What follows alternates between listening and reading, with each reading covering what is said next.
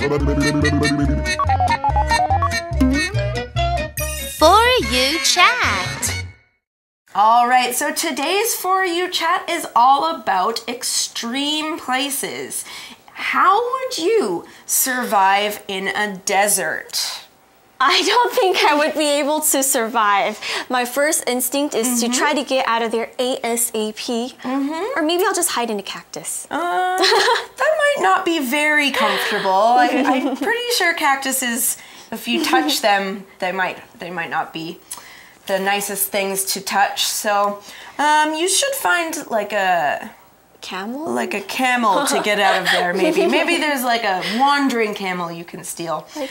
Well, like I said, I'm from Canada, so I have a bit more experience in the extreme cold. So I don't think I would do very well in the desert as well. But I do know that you can. Uh, you, I think you can take off your clothes and you can wear it on your head Ah, yeah, to or your shirt cool. to keep it keeps you cool if you wrap it around your head. Um, but it does get quite cold in the desert at night. That's very so, true. So, um, yeah, look for cactuses. Cactuses have water inside them, so you can drink.